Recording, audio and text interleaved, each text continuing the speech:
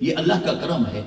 مجھے خوشی ہوئی ہے، میرے عزیز مولانا اسرار رشید، اللہ رب العزت ان کے علم و عمل کے اندر اضافہ فرمائے، برکتیں دے۔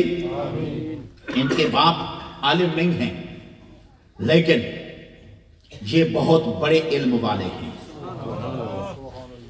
جتنا ان کا قد ہے نا علم ان سے زیادہ ہے۔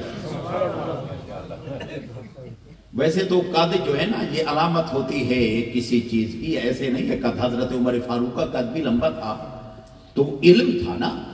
لیکن کوئی کوئی صحابہ کرام ایسے تھے، جیسے کہ سیدنا عبداللہ بن مسعود رضی اللہ تعالیٰ عنہ، حضرت عمر فاروق کہا کرتے تھے کہ کاماتو ہو اکثر من علم کہ وہ کہا کرتے تھے کہ ان کا قد ان کے علم سے چھوٹا ہے۔ قد چھوٹا ہے حضرت عبداللہ بن مسعود کا، لیکن علم ان کا بہت بڑا تھا۔ حضرت عبداللہ بن مسعود۔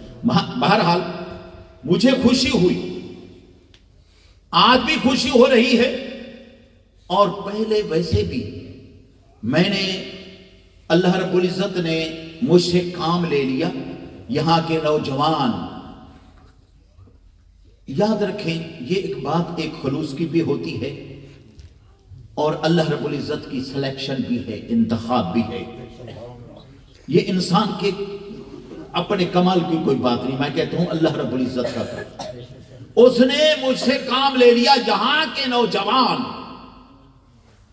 جب میں آیا تو میں نے یہاں دیکھا بڑے بڑے علماء جہاں پاکستان سے پہنچے تھے، ان کے علم کو زنگ لگ گیا۔ کیوں؟ کہ انہوں نے آگے پڑھایا نہیں۔ تو میں نے سوچ لیا یہاں کے نوجوانوں کو علم عطا کروں گا، پڑھاؤں گا۔ اور الحمدللہ میں نے محنت کی اور اللہ نے کام لیا۔ میں سمجھتا ہوں ان ان نوجوانوں کی بھی بہت بڑی محنت تھی۔